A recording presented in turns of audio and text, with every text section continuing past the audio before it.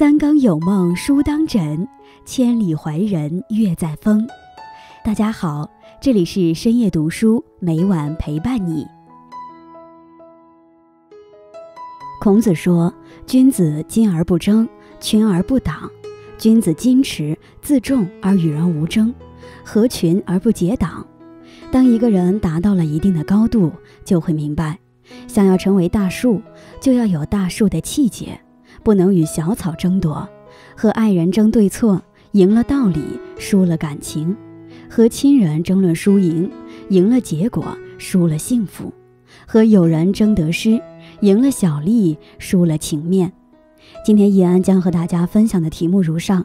在开始今天的节目之前，希望大家能点击订阅和小铃铛，你的点赞和评论是易安最大的动力。感谢大家的喜欢。深夜读书，因你们而精彩。到了一定年龄，你就会明白，在这个世界上，除了生死，其他事都是小事。到了一定年龄，你就会懂得，到黑夜时，连自己的影子都会离开。所以，不要高估你在任何人心里的位置。到了一定年龄，你就会明白，有些事让你哭，有些事令你笑。上天对每个人来说是相对公平。到了一定的年龄，你也终会明白，心宽似海，风平浪静，不争不吵不炫耀，才是人生最顶级的智慧。不争不吵，关系更好。林语堂在《风声鹤唳》中曾写道：“不争乃大争，不争则天下人与之不争。”说到底，人生短短几十年，争来争去，何必呢？到了一定的年纪，你就会明白。静而不争才是最明智的行为。当我们陷入争名夺利中，心中贪欲就会膨胀；和命争就会平添生活的负累；和亲人争势必疏远，亲情会淡，得不偿失；和爱人争只能让生活多了琐碎，少了宁静，感情会淡；和朋友争只能让感情越来越淡，渐行渐远。争的是理，输的是情，最后受伤的还是自己。孔子的家乡流传着一个三季人的故事，据说读了这个故事的人一生都戒掉了脾气。一天，有一人来请教孔子的学生，他问：“一年到底有几季啊？”学生心想：这种问题还要问吗？于是便回答道：“春夏秋冬四季。”客人摇摇头说：“不对。”一年只有三季，两个人争执不下，就决定打赌。如果谁错了，就要向对方磕三个头。正巧这时，孔子从屋里走出来，学生上前问道：“老师，一年有几季呀？”孔子看了一眼客人，说：“一年有三季。”学生虽不解，但也只好乖乖磕了三个头。客人走了以后，学生迫不及待地问孔子。老师，一年明明有四季，您怎么说三季呢？孔子说：“你没看到刚才那个人全身都是绿色的吗？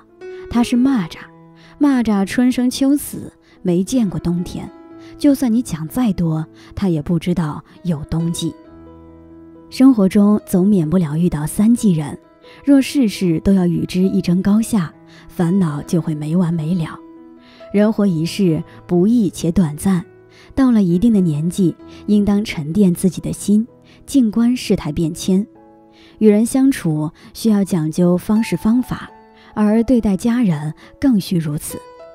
主持人马东曾在节目中提到，他七十六岁的老母亲最喜欢做的一件事是关灯。屋里灯亮着，只要没人在，他就第一时间关掉。马东一开始还告诉母亲，一开一关会影响灯的使用寿命。一直亮着也费不了多少电，但在发现母亲每次说好，紧接着又关上之后，马东再也不和母亲计较这样的小事。马东说，节约用电已成为母亲的思维定式，就算你告诉他不用随时关灯的道理，他也改变不了自己过去积累下来的行为。想想很多人的母亲，不也跟马东母亲一样吗？你可能一遍一遍地告诉他们，隔夜的剩菜不要再吃，可他们应声之后，接着把剩菜放入冰箱。你可能一遍一遍和他们强调，不要再给孩子买零食。可他们答应之后，转身会带孙子去超市。网上曾火过这样一句话：幸福的家庭从来都不争对错，不争不吵。不管是对于家庭还是交际，都是一剂润滑剂。人与人之间相处，多一份理解，就会少一些误会；心与心之间多一份包容，就会少一些纷争。嘴上吃些亏又何妨？让他三分又如何？学会淡下性子，学会忍住怒气，修身养性。凡事不要锱铢必较，知足一点，别要太多；坦然一点，放下执念；从容一点，心境淡然；简单一点，别求太多；不争不吵，平凡也有平凡的快乐。平凡人就过平凡的日子，舒坦自在，自得其乐。白落梅曾说：“人生一局棋。”关于输赢，我们总是无能为力。迷茫之时，多半在局内；当你了悟的时候，人已在局外。若用平和的心态看凡间一切，简单明了；若用复杂的心态看万丈红尘，则为世相所迷。人到中年，日子屈指可数，善待生活，善待他人，善待自己，善待身边的一切。静而不争，争而不吵，才是一种难得的大智慧。低调谦卑，何须炫耀？古语云：“刚者易折，柔则长存。”低调是态度，不炫耀则是一种智慧。到了一定的年纪，你就会明白，人这辈子何其短暂，其实没有什么好值得我们去炫耀。英国著名女作家 J.K. 罗琳在写作初期，没有出版社愿意收她的书籍，但几经波折，《哈利波特》成功出版，并且异常的畅销。从此，J.K. 罗琳这个人出名了。但让人意外的是，罗琳在创作侦探小说《布谷鸟的呼唤》时，却换了一个笔名罗伯特·加尔布雷斯，以毫无名气的作者的身份投稿。要知道，以罗琳当时的身价和名气，她的小说必是被各个出版商争抢的。但她却无惧归零，以低调证明了自己的成功。罗琳说：“我就是想告诉读者，改变困境不需要魔法，只要我们发挥出自己内在的力量，而非外在的虚华。不炫耀，是自己对自己绝对认可。